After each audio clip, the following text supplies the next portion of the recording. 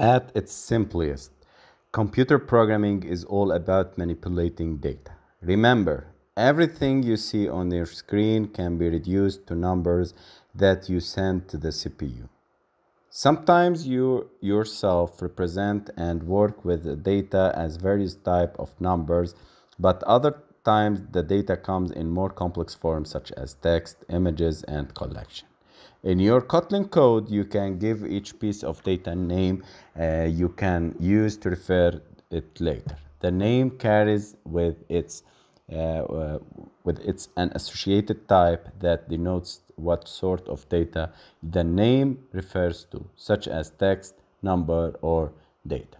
So you will learn more about uh, some of the basic types in this uh, lesson, and you will encounter many other types throughout the rest of the course. So let's start by constants.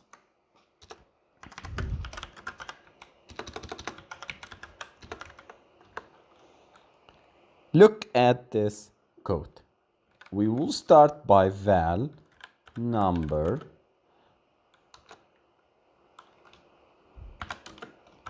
int equal to 10 okay we don't use semicolon just put like this.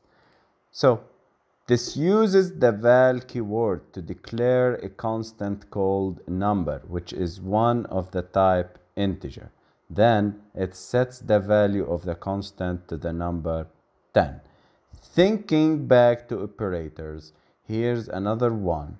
Equal sign is an operator uh, operator sign that we are going to to take in the next videos. But till now, just learn how to create a constant variable. We start by val number in and two points. We specify the type of this value a variable and equal and we give it a value a val. The type int can store integers. So int int is for storing stores integers okay? The way you store decimal numbers is like this. So val pi double equal to 3.14159 okay? So double stores decimals You see, I'm using comments here, guys, in order to allow you understand better code and you write uh, your own notes for uh, understanding the code. Okay? This is similar to the int constant, uh, constant, except the name and the type are different. This time, the constant is double and the type can store decimal with high precision. There are also a type called float, so I can create float here val uh, k float equal to 6 point this number. We have an error and we need to specify f. So when using a float we need to specify and tell the the compiler that this variable is a float type by specifying f letter at the end.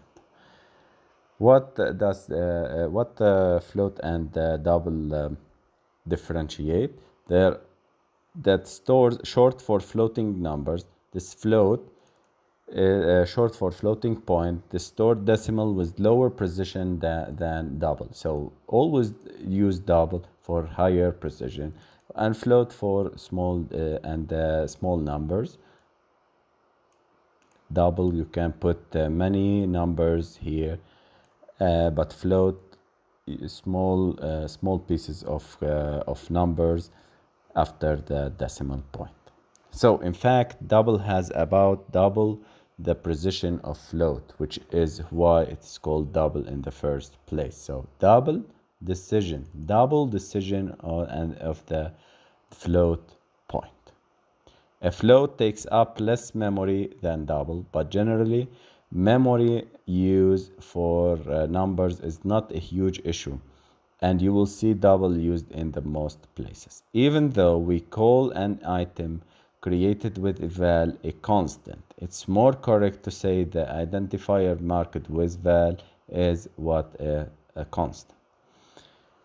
Once you have declared a constant, you cannot change its data. For example, consider the code no, number int equal to 10. I can't put here that number number equal to now to 10 uh, to 50 uh, to 11 i can't put like this. It give me an error.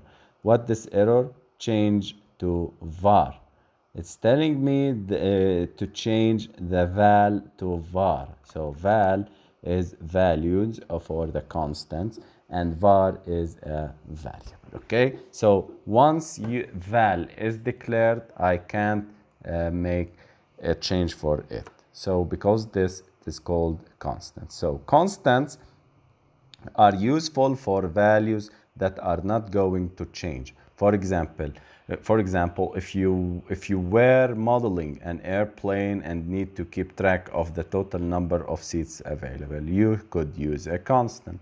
Or if you have a constant in mathematics like pi 3.1459 you can use a value of constant and create as pi.